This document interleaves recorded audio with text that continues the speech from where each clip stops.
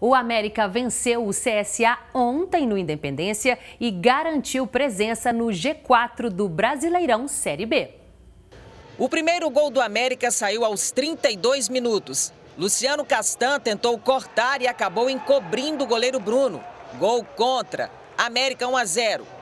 Logo no início do segundo tempo, também de cabeça, só que desta vez para o lado certo, Rodrigo Pimpão deixou tudo igual para o CSA mas não demorou para o América desempatar.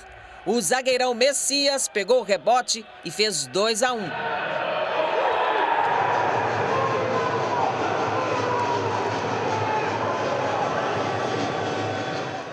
Já no finzinho do jogo, Guilherme, um velho conhecido da torcida mineira, entrou em campo para fazer sua estreia. Com o resultado, o América está no G4 da Série B. Acho que entre mortos e feridos ficou de bom tamanho, acho que merecemos a vitória. Fica o senão de não ter ganhado com um pouquinho mais de tranquilidade.